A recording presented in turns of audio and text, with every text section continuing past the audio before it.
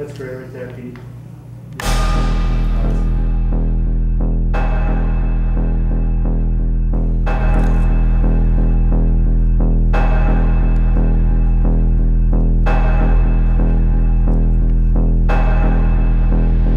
Ah! Mate, pass the liquor. It's Jack the Ripper, Jack the Rapper.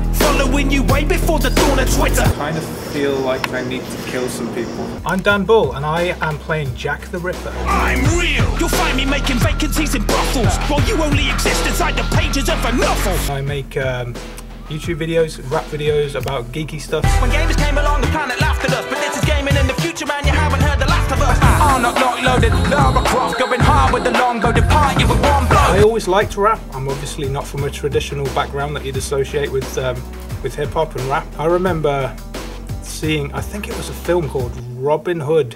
Men in Tights, and there was a scene in that where there's like some merry men doing rap, and I just thought it was the coolest music I'd ever heard.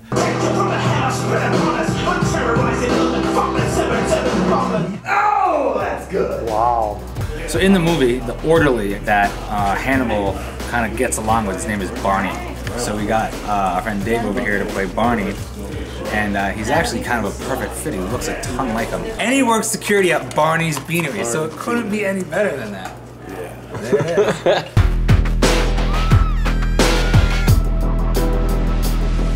Hi, welcome to. Uh, did I just do a funny little head turn? Like, hi. We're going to show you some behind the scenes of how we make these videos on the computers. So we have three machines running here. Both, all three are Apple computers. We're running Adobe Premiere and Adobe After Effects.